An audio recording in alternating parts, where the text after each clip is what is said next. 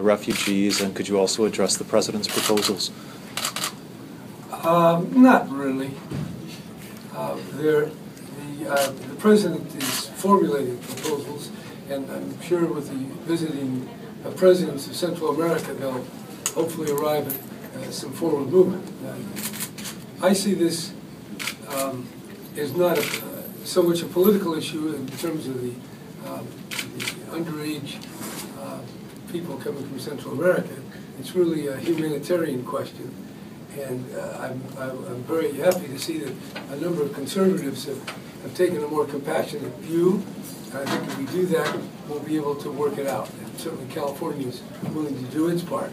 But in terms of big, longer-term solutions, I think trade and, and cultural exchange and a lot of mutual investment is what is going to make those Central American countries do better, be safer. And in that regard, I think Mexico uh, will play a very important role, and I would like California in its own way as a state uh, to do whatever it can in a constructive way. Governor, what are you looking for? potential do you see for